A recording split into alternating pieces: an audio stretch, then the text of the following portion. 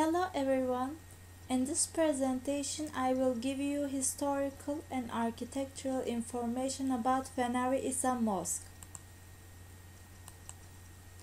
In this presentation we will start with a brief introduction first, then we will examine the history of the mosque as the Byzantine period and the period of the Ottoman period and the Republic. After that, we will follow the artistic and architectural structure of the mosque by taking the north and south regions separately. The Fenari Isa Mosque was a building as an Orthodox church in the Byzantine time. It was converted into a mosque after the Turkish occupation of Istanbul. Currently, this structure is located in the borders of Turkey in Fatih district of Istanbul province and it is still used as a mosque. The current detailed location of the mosque is shown on the map in this image. The history of the building passes through two different imperial ages. This structure was originally planned as a monastery church by Constantinos Lips during the Byzantine period during the Emperor Sixth Leon. This monastery was offered to the public under the name of Moni to Libos in June 907. It is known that this monastery was built on the ruins of another monastery dating from the 6th century. It's also known that it was used as a hospital during the Byzantine times. Laterly, Empress Theodora built another church in the south of this building. In this way, the church consists of two parts, north, which was first built, and south, which was first which was later built. Moreover, it's known that the leading member of the Palaiologos dynasties were buried in the southern church section.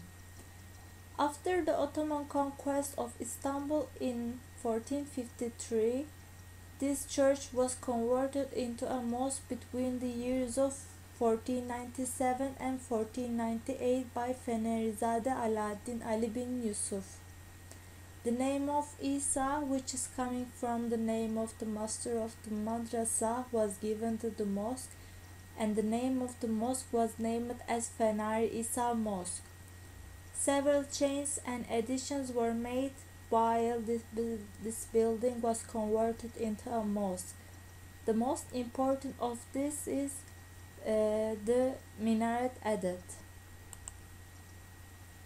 After the declaration of the Republic in Turkey, 22 sarcophagi, I mean graves, were found in the excavation carried out in the mosque.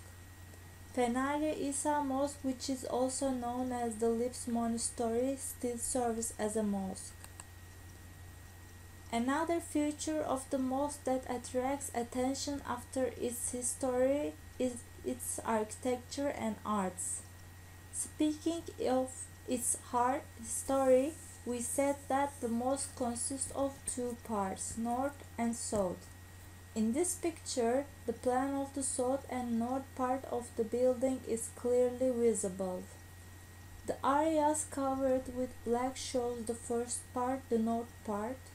The part scanned with the thick line shows the south part which was made later. The thinly scanned section, namely the lower and the left section on the map are additions that by, made by in the Byzantine times. Dotted part are additions made by the Turks. We see that these plugins are not very much. The north part of the structure which is constructed first was built in a slightly different structure from the architecture of the Byzantine period. Church has five columns, four corners and the middle of the building. Also, it has three semi-domes. The other characteristic feature of the church that is it has four small chapels on all four sides of domes. It is not possible to encounter this feature in any other Byzantine, Byzantine church. In the picture, we can see the dome and interior of the North Church. Moreover, North structure was built with a closed Greek cross plan. All units are covered with walls except for the dome in center.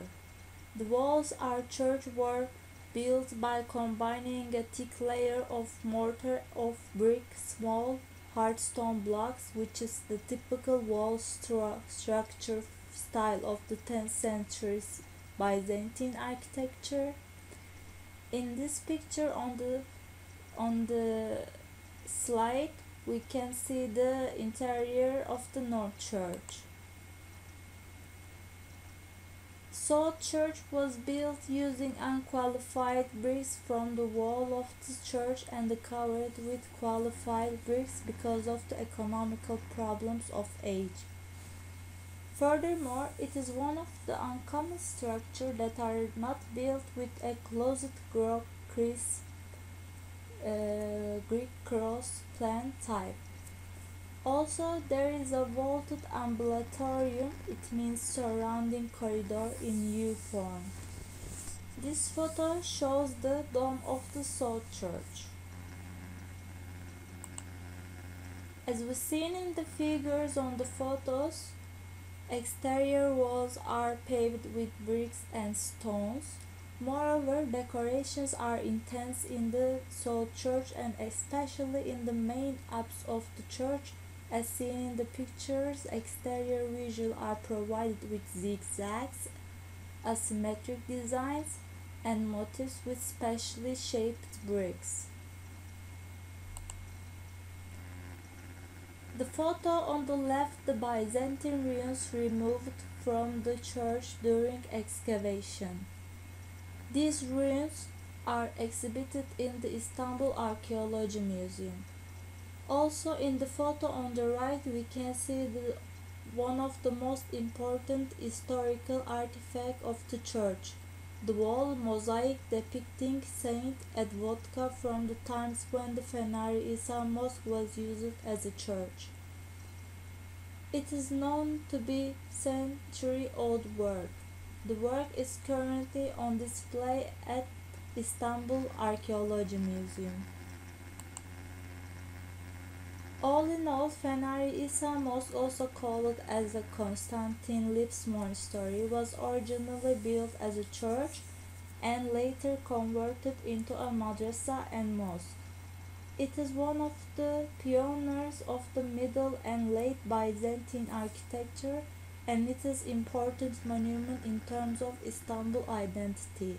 Despite all the fires and the wars it has undergone, it still has architectural features that reflect its period, but it's also important construction to be examined from an archaeological point of view. Thank you for listening.